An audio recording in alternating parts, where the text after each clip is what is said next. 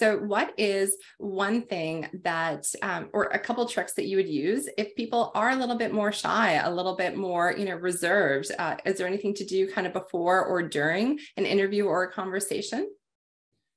The key is listening. it was actually someone else who pointed out to me that I'm a good listener. I didn't really realize that because I wasn't paying attention. Sorry. No, uh, but, but what what what's really evident to me is that people love talking about their favorite subject, which is themselves. And if you're listening and you hear something, or when I hear something that I'm not expecting, uh, there's a mental note. I, I'm kind of a list taker, but they're all mentalists, and I will use that or go back to that. So if you're in a situation where you're a little uncomfortable, maybe a little bit uh, self conscious, uh, the easiest way to kind of tamp that down is to ask somebody to talk about themselves. And when that door opens, then it just, if you continually do that and you continue to engage in that way by listening to what they say, engaging them on that with follow up questions or referring to what they told you, that can take you a long way away.